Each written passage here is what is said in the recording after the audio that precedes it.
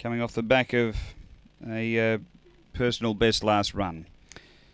We're right, the light on. We're set and ready, racing. Waltharius out okay, but lot better speed around it. Got shuffled back a bit. The favourite Aston Apollo straight to the lead. Baba Ra second. Uh, driving through closely now. Long Galliella getting to second. Baba Ra back third. Then another My Tharius Five off the lead. Gets to the outside. Then Kiowa, Big Bow top Nolan.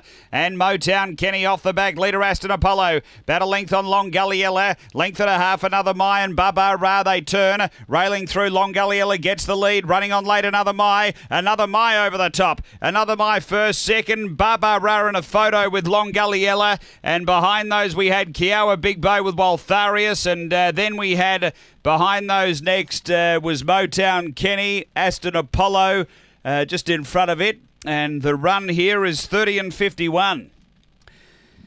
After the running of race number three, another My over the top. Nice finish here. Um, so back to back wins for her. She got the prize um, at a run last week and has been too good. Another My, Michael Giniotis, uh, Wayne Verrill, a fawn bitch, August 2014. Radley Bale, Izzy My, number one. Uh, second, we stand by sectionals 443, 1707, 30 and 51. Number one, the winner. Um, another My. Now for the minors, we uh, stand by. So it's uh, one and a a dead heat second.